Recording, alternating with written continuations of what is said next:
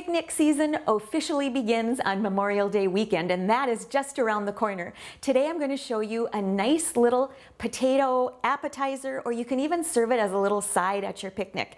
And it's so easy and so tasty. You start by boiling some small red potatoes or Yukon Gold potatoes. You want a potato with a nice creamy flesh. And cook it just until it's tender. I pushed a fork through and it came right out, so I knew that they were done. And then I set them aside until they were just cool enough for me to hold in my hand. And I sliced each one in half lengthwise. And then I want to scoop out some of that potato flesh. And so I found that what works best is a little metal measuring spoon, but if you have a small teaspoon, that works good too. And I've just used a potato masher to mash them up a little bit.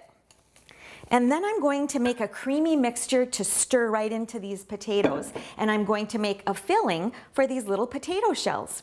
So I've got a little food processor here and you can certainly use a blender if you have a blender in your kitchen.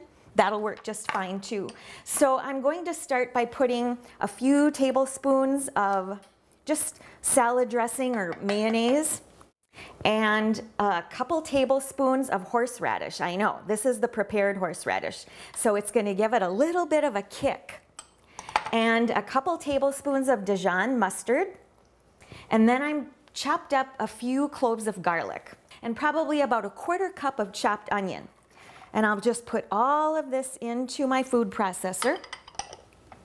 And I'm just going to blend it up until it's pretty smooth. So I'll just pour those right over the potatoes in the bowl that I've already mashed a little bit. And then I'll just mix it up.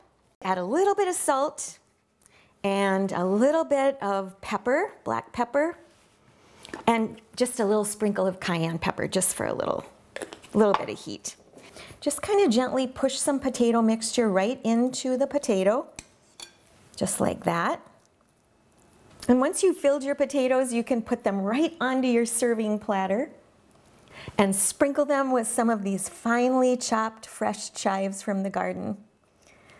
And there you go, a nice little appetizer or a nice little side for your first picnic of the season. I'm Sue Doeden sharing good food for good life 365.